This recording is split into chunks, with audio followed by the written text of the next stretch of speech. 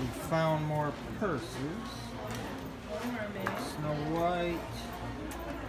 Cinderella. No.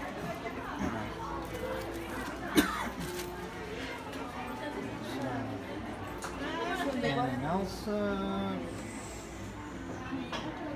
That's Rapunzel. I think that's Merida. We got more around the corner. Of course, the Evil Queen. Ursula down on the bottom, and office again. There's Belle. Jasmine, Ariel, Aurora. Aurora has two. Oh yeah, it's half and half.